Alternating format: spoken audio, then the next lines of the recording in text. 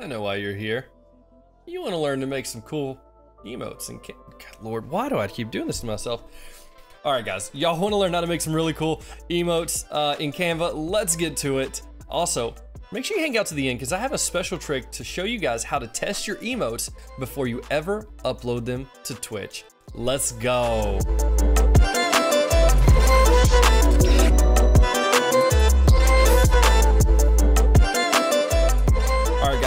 Warning on this one. I always like to let you guys know ahead of time if this is going to require Canva Pro, and this one will require Canva Pro. Uh, just to be able to export with a transparent background, we don't have the option of chroma key like we do on some of our other stuff. So this one will require Canva Pro, which you can get for free down below, at least a 30 day free trial using my link. And if you use it, it does help me out. Um, otherwise, still hang out, watch the video. I really think you'll learn something. And that little tip at the end about uh, testing the emotes out is just uh, mm, oh, uh, worth a million dollars, honestly, being able to test this out before you have to wait for Twitch to approve them to see how they look. Just, uh, yeah, anyway, enjoy the video. Let's get to it. Also guys, through the month of March, I'm running a special giveaway over on Twitch, so I'm gonna have a code at the end of this video. If you hang out till the end of the video and show up over on Twitch and share that code, it'll get you 10 free tickets into the giveaway. Uh, so if you want to win a piece of Dr. Heals merch, be sure to come over and hang out with me on Twitch and get that code at the end of the video. I stream every Sunday, Tuesday, Wednesday, and Thursday over at twitch.tv slash Dr. Heals. All right, let's get into it. It's canva.com. We're gonna load it up and we're gonna create a new document. We're gonna go ahead and I just do a custom size, 600 by 600. Um, it doesn't really matter. Uh, as far as I know right now, the size doesn't really matter. You can upload it about any size and Twitch will resize it for emotes. Uh, I don't believe that's true for sub badges, but at least for emotes, you can upload it to any size and you're fine. So we're gonna start right here, and let's say we want to make a, you know, GG, good game. Maybe someone wants to congratulate you. I'm gonna just do something pretty basic here. I'm just gonna go to text, and I mean, I can scroll through here and find a decent design I like, kind of like this one right here, right? I mean, that looks pretty cool. We just type in a GG. I'm gonna click right here, and I'm gonna hold down Alt to drag it up.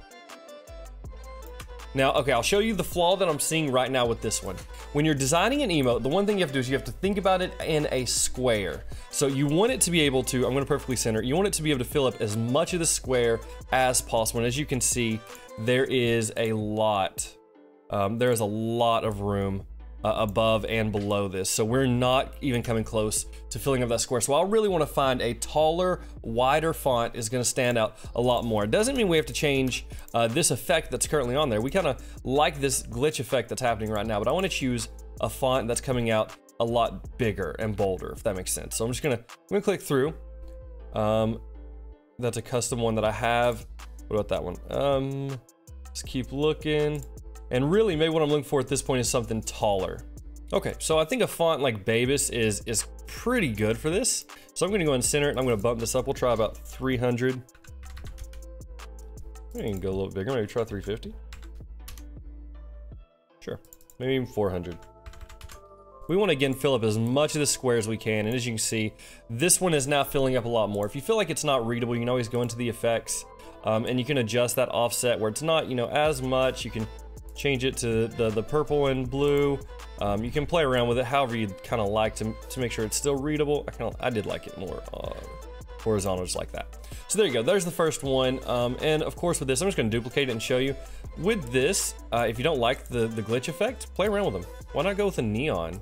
Maybe a nice neon blue will kind of fit your feel. Uh, one thing I really like with that effect in particular is if you take the intensity and you bump it all the way up, all that shows up is the white. Um, so I actually think that really looks good just like that. That, that looks really clean. Um, and then if you want to make sure um, it shows up really well, one thing you can do is, uh, I'm going to click off. I want to click it and I'm just going to duplicate it, move it into place just like that. I want to turn the effect off. So this one hat now has none on the inside. And I'm gonna give it a nice color that goes well, maybe that green. Um, and there you go. You have that kind of neon, different colored neon effect around the green. And I believe those will show up quite well. You can also lower this uh, kerning in this to bring those letters a little closer together, just like that. And now we could even make them larger. Um, as you can see, when you're playing with letters, typography here, you can just do, do whatever you want. You have fun with it. All right, I'm gonna create a new artboard, and now we're gonna say we want to bring in uh, some form of a character. Let's say we want to do a rip emoji first. So I'm just gonna type in RIP. There we go. Uh, that was pretty easy. There you go. There's your there's a rip emote. As simple as that. Grab, find the one that fits your style, right? Um, but okay, so we don't want to do that. Say we want to find, we want to use, uh, we want to do a rip with what, like a like a scythe? So that, that's the that's the tool the Reaper carries, right? Yeah, there we go. Pick pick your flavor, right? Pick the one that you like. Uh, ooh, that one's that one's nice and creepy. Right, go with this one. Now, some of these are pros, so you may need to sign up for a 30-day free trial of Canva um, to use some of these. If if you see that little pro badge right there, um, and you can actually get that 30-day free trial in my link down below. It actually helps me out if you do use it, uh, but that is up to you. But a lot of these are pro. If you don't have the pro account, you can click right here, um, and you can make sure it only shows you the free ones. You can see it's a lot more limited, but we can work with it. Let's uh, let's see. We throw this in there. Um, we can work with it. Maybe we can change it into your colors, whatever those colors may be. Um, kind of throw your text on there um, and go from there, right? Uh, I do have Pro, so I'm going to turn that off and just so I can show you what we can get with Pro. Yeah, so we want to throw this guy in there. He's nice and creepy looking now. He is kind of breaking my rule that he's not quite taking up the full square. There's a lot of room left here on the sides. Um, and I'm not a huge fan of that, so maybe something I would do, and we're just we're just to toying around playing with it. Um, make this guy a little smaller, like a little mini one, or I don't, I don't know. Yeah, maybe maybe it doesn't look good. Oh well, yeah, you can play around. Pixels are free, right? All right, make this guy kind of big, like that. Now we're gonna throw a word underneath. I'm gonna go text again. I'm gonna scroll through there and see if there's any of these templates that kind of match what I'm going for here. Something kind of creepy, um, but big and bold. No, maybe not. This one, sorta.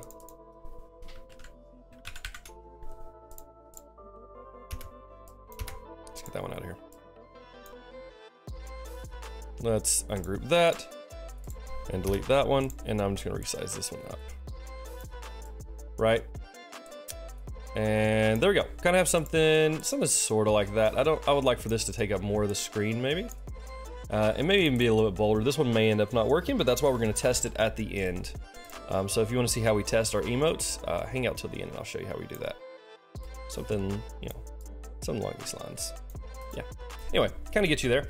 Next, we're gonna jump in. We're gonna try out a character one. Now, I personally love these whenever a streamer has uh, several of the same characters, whether your branding is, you know, penguins or ghosts or, or goblins, you know. Um, Canva actually makes a lot of that stuff really easy. So let me show you. I actually have not tried goblins, so let's let's check it out. All right, goblins. Let's see our th is goblins. This guy's kind of cute, right? Maybe not. I'm gonna keep looking. What I'm looking for is some that have magic recommendations that are similar.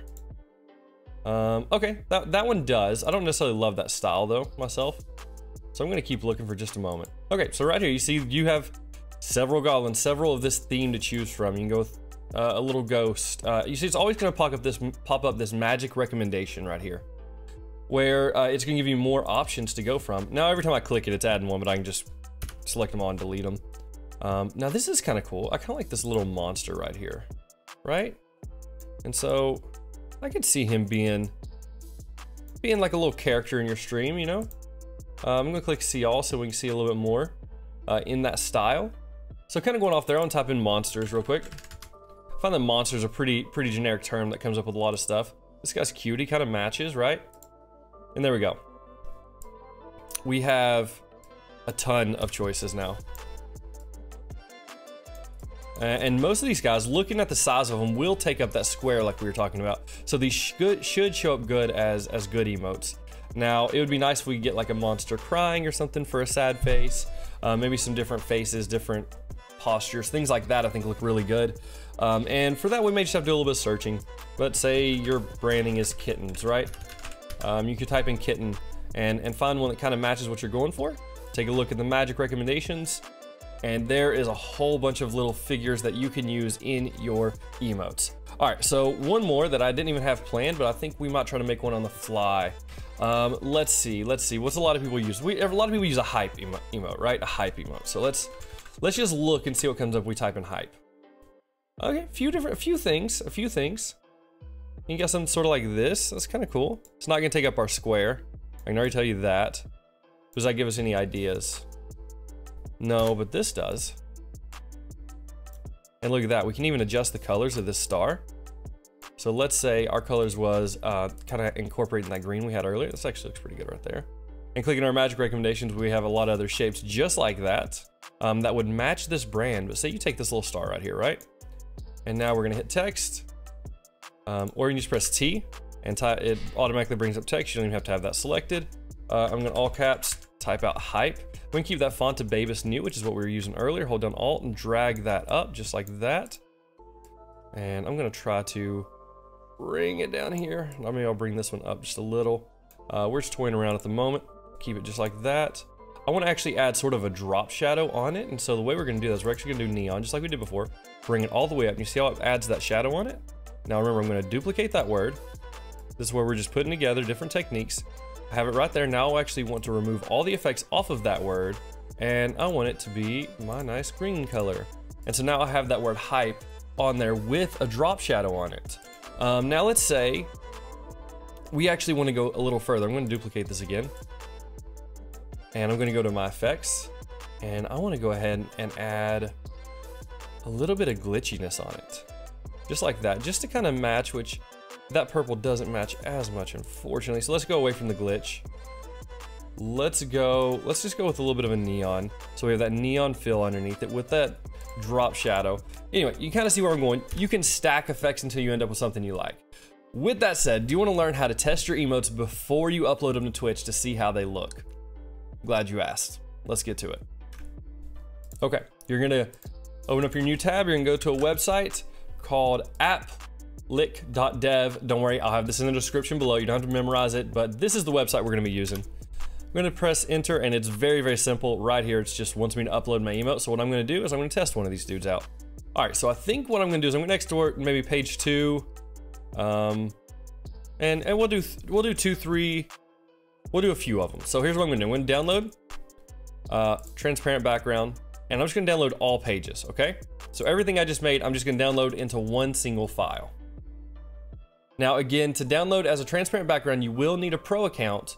Um, so make sure you use the link down below to get your pro account. You get it 30 days for free. So make your emotes, get them all done with, um, and then cancel the account. But if you enjoy working with Canva, I highly recommend the pro package. I personally use it nearly on a daily basis. So um, I, I, do recommend it. All right, now that file's all done, we're just gonna un unzip it. There we go, and extract it right there into my downloads. Excelente.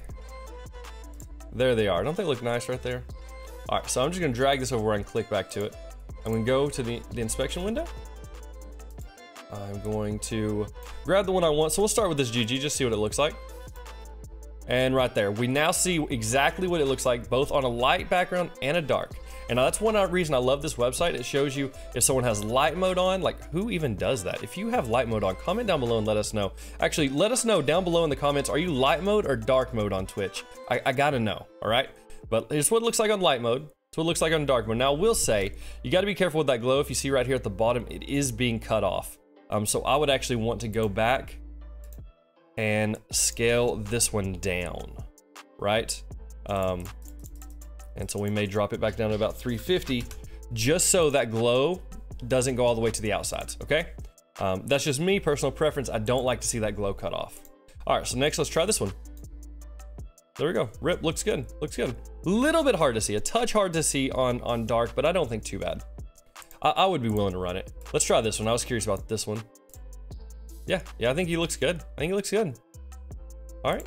Um, what about our little monster guy? I think he's cute. Love it. And our hypes. Just like that, all our emotes coming out looking pretty good. Now, if you wanted those special tickets into the giveaway, here's how you get them. All right, if you guys want those free tickets into the giveaway, here's all you gotta do. Jump over on Twitch at any time while I'm live during the month of March and type into the chat exclamation mark Team Dark Mode. Okay, Team Dark Mode, and we'll have it on the screen somewhere. Team Dark Mode, and you'll get those free tickets. Guys, I do hope this video was helpful. If you made something with it, do me a favor and jump in the Discord down below and uh, post in the Share Your Art section what you made. I'd love to see it. Guys, I appreciate y'all. And remember, subscribe to this channel and follow over on Twitch for more content. I'll catch you in the next one. Right click the throne. I don't like this already. Right click real quick. I don't like it already. What don't you like? It's too small. Oh, right, right click turn into thermometer. Now I think. You control the mouse. Okay, 20 degrees. So that gets to 12. You control the mouse. No, I don't want to do the mouse. I'm, Why? I'm not playing. But you are though.